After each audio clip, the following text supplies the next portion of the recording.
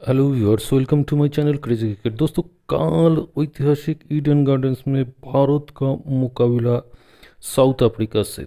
और social media में और विशेषज्ञों का कहना है, ये तो एक तरफ़ से जैसे फाइनल का स्टेज रिहर्सल है, क्योंकि भारत तो पॉइंट्स टेबल में नंबर वन पर है और साउथ अफ्रीका नंबर दो पर है। हालाँकि काल जो आठ नंबर मैच होगा इन दोनों टीमों के लिए और एक एक मैच बाकी था भारत के लिए नेदरलैंड्स मैच रहेगा लास्ट मैच और साउथ अफ्रीका के लिए अफ़गानिस्तान मैच। यानी काल अगर कोई भी टीम हार भी जाए तो फिर बाकी मैच जीतकर इन दोनों को हटाना एक और दो से किसी के लिए असंभव है।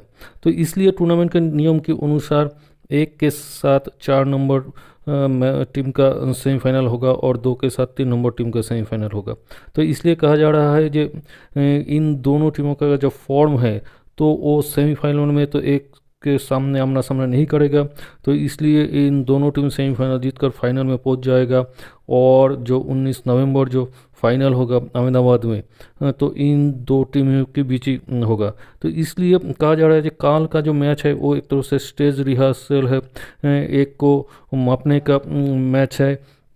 तो भारत जैसे लगातार सात में से सात मैच जीतकर टूर्नामेंट के टॉप में है, चौदह अंक लेकर और साउथ अफ्रीका ने, हालाँकि नीदरलैंड से तो हार गया थे, लेकिन उसको एक अघटन ही कह सकते हैं, क्योंकि साउथ अफ्रीका ने बहुत अच्छा फॉर्म में है इस बार। और सात मैच में चार बार और साढ़े तीन सौ भी से भी ज़्यादा रन बनाया है और उनकी तरफ़ से डी कॉक ने सबसे ज़्यादा इस वर्ल्ड कप में रन बनाया है।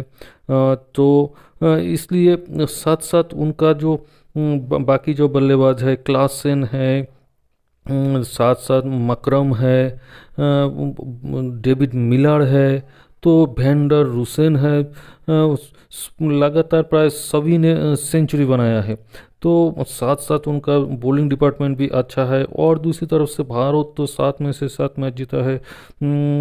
कि भारत तो जैसे सेकेंड में है, विराट कोहली है रन बनाने में रोहित शर्मा भी नंबर तीन पर है और विकेट में भी हालाँकि जॉनसन सोलह विकेट लिया है, लेकिन बुमराह भी पंद्रह विकेट लिया है शामी ने भी चौदह विकेट लिया है। दूसरी तरफ़ से कोयटजे ने भी चौदह विकेट लिया है। यानी एकदम जैसे एक के साथ दो का जो मुकाबला होता है, वैसा ही जैसे। तो इसलिए इस मैच को लेकर रोमांच इतना बढ़ गया है। काल कौन किसको मात देगा? तो इसका रिज़ल्ट के ऊपर शायद फाइनल के रिज़ल्ट का भी अनुमान लगा सकता है आप। और हालाँकि आईसीसी जो ओडीआई वर्ल्ड कप में पाँच बार तो इंडिया साउथ अफ्रीका का आमना सामना हुआ है। उनमें से साउथ अफ्रीका ने तीन बार जीता है और पंद्रह और उन्नीस में इस दो बार जीता है भारत ने। तो कल क्या होता है? तो दोस्तों देखते हैं। तो इंतज़ार रहेगा। तो जुड़े रहे चैनल के साथ। वीडियो का अच्छा लगे तो जो लाइक और शेयर करना। चाहे ना है तो जाकर सब्सक्राइब करो नोटिफिकेशन बिल को प्रेस करना। मुलाकात होगा अगली वीडियो में। तब तक के लिए stay happy stay healthy thank you